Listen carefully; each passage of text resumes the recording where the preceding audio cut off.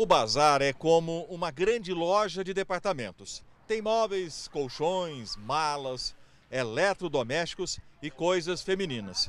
Aliás, uma seção à parte. Tem roupa de todo tipo, acessórios, calçados, assim aos milhares. Tem coisa para homem também, claro.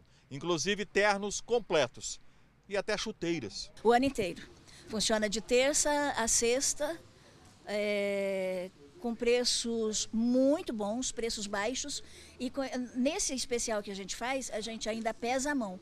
Exemplo, nas roupas femininas, que é o item que a gente mais vende, a gente vai colocar 50% de desconto para a moçada. Não falta nada para a criança também. Roupas, sapatos, brinquedos, até cadeirinha para botar no carro tem. Obras de arte, coisinhas de casa, também tem.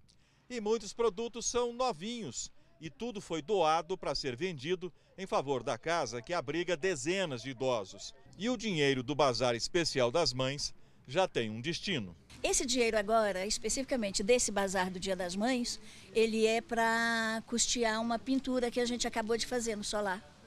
A gente pintou, até agora, pintou toda a parte externa e precisamos de pintar a parte interna.